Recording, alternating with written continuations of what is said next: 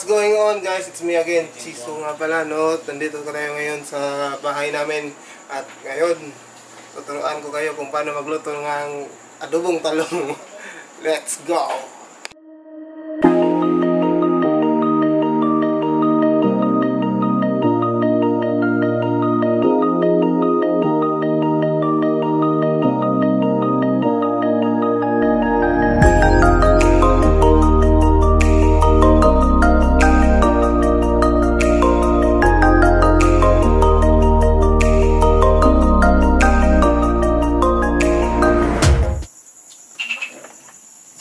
Mga kaibigan, no, so nakikita nyo.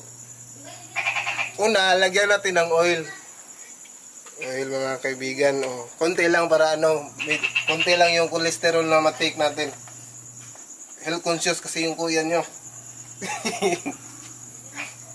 Tapos, no, antayin na lang natin na uminit siya. Anong tawag doon? Bumukal mga kaibigan.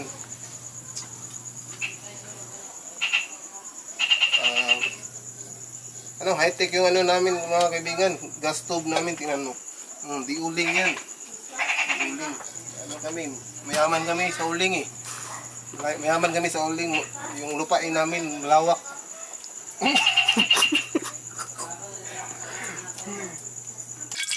so ayan mga kaibigan, no.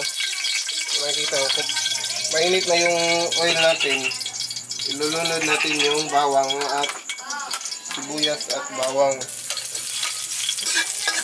Oo, ayan mga kaibigan.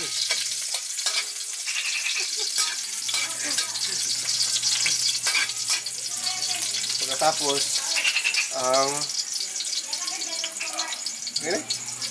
Sibuyas. Sibuyas. sibuyas Bombay. Sibuyas Bombay. Yan. At susunod ang kamatis. Ayan mga kaibigan. Hmm, ang bango. Mga kaibigan, no?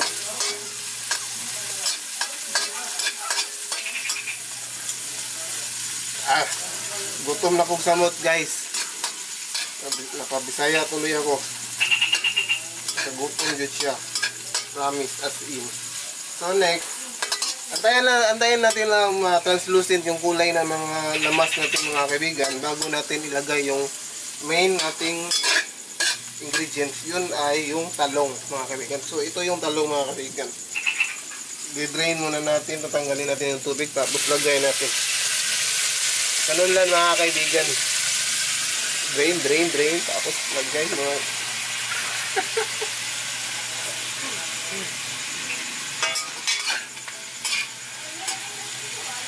Oops, cut muna. Cut muna mga...